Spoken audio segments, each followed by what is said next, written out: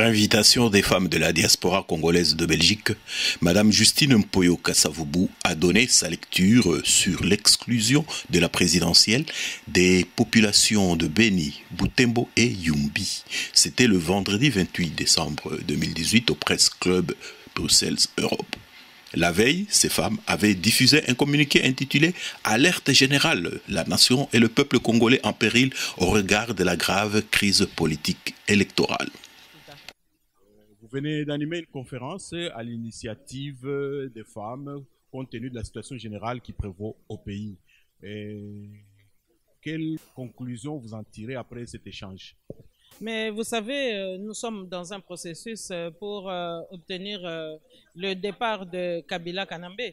Et donc, il n'y a pas de conclusion encore pour le moment. Mais ce qui est certain, c'est que nous sommes déterminés, nous, les femmes congolaises, à faire en sorte que les choses changent dans notre pays et que notre peuple cesse d'être toujours martyrisé. Les femmes qui sont venues vous ont interpellé par rapport à, votre gouvernement. Ils ont dit qu'elles sont disposées à vous soutenir. Et ils ont même donné l'adage éduquer une femme, c'est éduquer toute une nation. Euh, concrètement, qu'est-ce qu'on peut attendre de vous dans ce sens-là? Mais vous savez, nous allons maintenant euh, nous occuper aussi de notre jeunesse hein, au, sein de la diaspora. C'est-à-dire qu'il va falloir maintenant éduquer euh, les jeunes. Il va falloir aussi que nous puissions, nous, les adultes, euh, examiner quel est le partenariat en matière éducative que nous allons maintenir avec les opérateurs traditionnels qui collaborent avec le Congo parce que nous constatons que les ressources humaines qui ont été formés euh, en Occident ne produisent pas la qualité euh, d'hommes responsables tels qu'on peut s'y attendre dans d'autres pays. Donc, euh, il y a certainement un investissement qu'il va falloir maintenant réorienter vis-à-vis de certaines universités qui ont beaucoup plus des coups de franche pour former une élite intellectuelle qui soit capable de défendre son pays. Madame Justine Kassavoubou, on sait que vous n'êtes pas dans la logique des élections, mais malgré cela, le dimanche, il est possible que des millions de Congolais sortent malgré tout, qu'ils aillent aux urnes. Si vous devriez leur envoyer un message, que leur diriez-vous? Mais le Congo est, un, indivisible, tel que nous l'avons hérité du 30 juin 1960. Aujourd'hui, on nous dit qu'il y a des provinces qui ne pourront pas voter, mais c'est une balkanisation qu'on voudrait faire passer. Euh, devant l'indifférence générale. Or, moi, je souscris au fait que le Congo restera un et indivisible et qu'il n'est pas question aujourd'hui euh, de prétendre que une partie du Congo va aller voter et une autre partie du Congo ne peut pas aller voter. Il y a un seul Congo, celui pour lequel nous nous battons et en tous les cas, euh, le programme tel qu'il a été initié par le pouvoir en place, nous ne pourrons pas l'entériner. Et ceux qui vont s'aventurer à, sortir pour participer à ces simulacres d'élection se condamnent eux-mêmes hein, parce que le changement arrive. Hein. L'ouragan est déjà euh, en vue. Hein. Madame Louise Ngandou, bonjour. Bonjour, monsieur Fita. Il y a eu une conférence euh, à l'initiative de femmes euh, et où Madame Justine Kassavoubou a été oratrice. Qu'avez-vous retiré de cette rencontre? Cette rencontre est d'abord positive parce que c'est important que les femmes congolaises se lèvent pour dire que non à ce qui est en train de se passer au pays ça veut dire que les femmes ont pris la mesure de la gravité de ce qui se passe et il était important que les femmes se mettent ensemble, ensemble avec celles qui sont engagées au niveau politique et celles qui sont au niveau associatif. Le dimanche, il y aura élection. Beni, Butembo, Yumbi sont exclus. Si vous devriez donner un mot d'ordre à la population, que diriez-vous? Ils vont voter malgré tout ou ils attendent par solidarité les zones exclues? Non à l'élection dans une partie du Congo. Le Congo est un et indivisible. Toutes les stratagèmes qui ont été montés jusqu'ici pour opposer les Congolais, pour essayer de séparer le pays, ont échoué. Donc nous, les femmes, nous disons non. Ou nous faisons les élections sur l'ensemble du territoire, ou nous n'y allons pas. Que les élections ne soient pas une occasion de partition de notre pays. Nous disons non. Euh, plus concrètement, donc, si Nanga s'entête, et que le dimanche, on constate qu'il n'y a pas élection à Bounia et à, à Beni, vous devriez vous demander aux électeurs des autres provinces de ne pas aller aux urnes. C'est ça tombe même sous le sens. C'est de dire aux gens qui sont prêts à aller voter, n'y allez pas si tout le pays n'y va pas. Parce qu'en ce moment où on est en train d'exclure certaines provinces, on est en train de violer des femmes, des filles. Le Congo est en train de saigner dans ces provinces-là. On est en train de tirer sur la jeunesse. Donc, accepter d'aller voter pendant qu'une partie du pays saigne, ça n'a pas de sens. C'est même qu'on est en train de tuer là. C'est notre sang qui coule. On ne peut pas. Vous ne trouvez pas que vous donnez là au clan Kabila l'occasion de faire des élections imparfaites et de dire que moi j'ai organisé, ils ne sont pas venus, on proclame celui qui sortira? Nous voulons une véritable alternance. Et si on ne peut pas garantir cette alternance maintenant par l'organisation des élections, nous basculons dans la transition. La transition sans Kabila. Mais Kabila est là, vous allez le faire partir comment? Ah, Vous savez, le peuple congolais est une force. Hein. Le peuple congolais est une force. Et devant la force d'un peuple en colère, je ne pense pas que les tanks peuvent résister. Je ne pense pas. Je dis, vous venez d'assister à une conférence euh, à l'initiative des femmes et à laquelle était conviée euh, Madame Justine Kassavoubou, qui est présidente d'un gouvernement de la diaspora. Euh, qu'est-ce que vous en avez retenu? Euh, Je retenu qu'il y a une organisation en place au niveau de la diaspora que même tout en étant à la diaspora, les Congolais maîtrisent parfaitement la situation de leur pays et qu'ils s'en soucient, ils se battent j'ai retenu que les femmes sont déterminées, elles ont la situation entre les mains, elles sont en train d'envisager euh, les actions. Euh, je pense qu'il faut les encourager dans ce qu'elles sont en train de faire, surtout leur donner cette chance, parce que euh, lorsqu'on est, on ne parle pas un même langage, lorsqu'on est désunis, on ne peut pas arriver à réussir ce qu'on peut faire. On connaît cet adage qui dit que l'union fait la force. Alors, je pense qu'on doit donner à ces moments la chance, parce que comme elles ont évoqué euh, euh, ce propos euh, d'un ancien président sénégalais qui a dit qu'éduquer une femme, c'est éduquer toute une nation. Nous pensons qu'on peut appuyer, on peut s'appuyer sur cette synergie des femmes, les aider à pouvoir aider tous les Congolais à se mettre ensemble parce qu'il n'y a que cette unité-là qui peut sauver les Congos. Nous sommes à deux jours des élections en RD Congo. vous êtes un observateur assez objectif quel pourrait être votre mot d'ordre par rapport à ce qui, pour, qui devrait aller euh, aux urnes?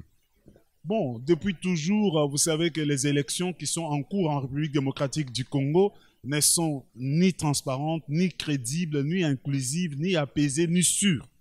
Et depuis tout ce temps, on avait dénoncé, mais parce qu'on est devant un fait accompli, je me rappelle que nous avons mené une action avec vous ce qu'il faut, c'est un moindre mal, comme nous disons. Alors, si les Congolais peuvent se mobiliser derrière le fait que tous soient électeurs, tous observateurs, nous espérons que ça peut, tant soit peu, même si on cache la vérité aujourd'hui, mais elle finira par triompher. D'abord, il faut exprimer sa volonté et il faut surveiller euh, sa victoire parce que on a vu pendant la campagne, nous avons vu comment euh, c'est l'opposition qui est en train de, mobiliser la population derrière elle, mais il se pourrait que les résultats soient triqués, mais ce qui est plus important, c'est que les Congolais s'expriment d'abord, qu'ils surveillent leur victoire. Parce qu'on a connu cette même bêtise. En 2006, on a estimé avec euh, M. Jean-Pierre Bemba, qui était un ancien militaire, il a dit, écoutez, je suis là, si on triche les élections, je vais sortir les armes. Tous les Congolais ont reculé, ils ont laissé Bemba agir seul. Ça n'a pas donné. On a vu avec Tshisekedi en 2011. Il a dit, dormez comme les bébés, vous avez déjà fait votre travail. Les Congolais ont dormi. Cette fois-ci, ça ne doit pas être la question.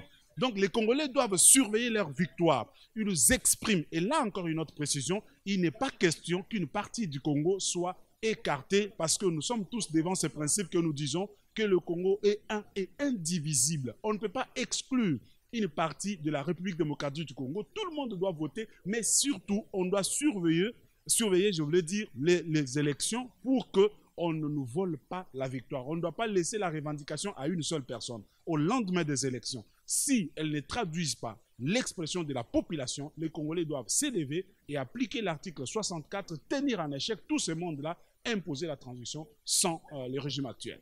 Êtes-vous satisfaite de l'échange Si oui, sur quel point bien précis? Euh, Sur plusieurs euh, points, je suis satisfaite, mais je reste sur ma faim parce que si je suis venue ce matin, C'est parce que pour moi, une femme ne peut pas accepter qu'on la déchire à deux. Nous, les femmes congolaises, nous disons, il n'y a pas d'élection sans béni, sans une partie de notre organisme. Donc, dire qu'il y aura des élections au Congo le 30, ce n'est pas possible. Nous, nous refusons ces élections. Donc, quelle est votre suggestion pour qu'on sorte de cette crise?